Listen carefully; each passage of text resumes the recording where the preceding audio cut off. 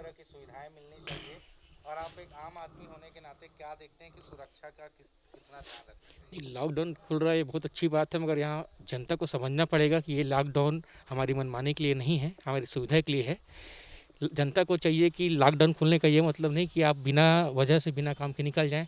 जब ज़रूरत हो तभी निकलें और अपने परिवार का और साथ साथ सारे लोगों का ध्यान रखें, ताकि कोरोना को हम हरा सकें और बिना वजह घर से ना निकलें, ये हम चाहते हैं और मैं भी ऐसा ही करूँगा। शरद ठाकुर बालोद।